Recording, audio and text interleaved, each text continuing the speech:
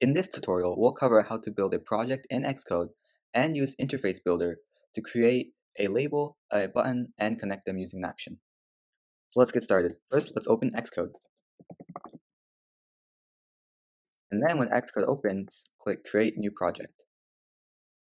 And make sure it's an iOS and New App. So basically, um, we first have to create a product name. So this is the name of our project. And I'll name this uh, interface builder. And organization identifier, we'll go with these into more detail, but um, the organization identifier is essentially something that comes before your uh, product name, and both of those combined is your bundle identifier, which is a unique name assigned to your project. And the interface, make sure it's in storyboard and language Swift. So firstly, go over to the main, go over to the main in the left, and then we'll be see our and we'll see our iPhone. And I will choose iPhone 13 Pro. And now we can start. So to add any elements to screen, we need to click on the plus icon over here. And then first, let's add a label. So to add a label, you'll have to drag it over here. So a label essentially is like text. And you can double click on it to change. So you could say, this is my first app. Now you can easily drag it around and increase the width of it, width and height. Also, you can change the color and font using this panel on the left.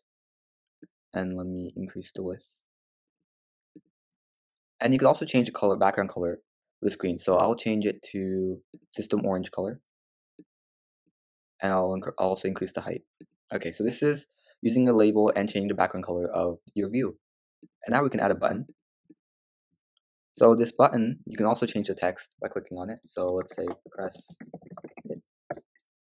Let me also increase the width and I'm going to center it. And now um, for this button, we can also change the color and add a change the color of the text. For now, I'll keep it default. And now to be able to link this um, using code, we would have to go over here and then click assistant. So assistant allowed us to easily use the storyboard and code it. So over here, click on, um, let me move this and let me move this bit to the right. So we can close this by clicking here.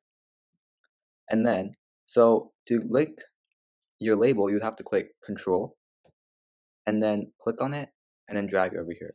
So if you put it over here outside the class uh, view controller, it won't do anything. But if it's right underneath the class, it'll add a um, outlet. An outlet is essentially a way to connect the elements in your view. I'll name I'll name this um, label label message. And now the outlet is created. And now we can also use our button and create action. So we'll use it. We'll, so we'll do the same way by clicking Control and dragging it outside this time, um, still in the UI view controller class, but underneath the did view did load function. And we'll name this button pressed.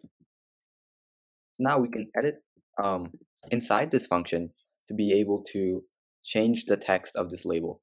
So we'll take the name of the label, which is LBL and then we can use dot text equals to a string. So we'll name it um, button pressed. And now let's run our code and see what happens. And uh, just again, so I'm in iPhone 13 and you can change it by clicking here. And the simulator opened. it takes some time to load and you can also add a splash screen so launch screen that that'll be for a future video now let's test it by pressing uh, the button and see when we press the button it changes the text to button pressed. That's it, that's it for this video and we'll go into more we'll go into in depth in future videos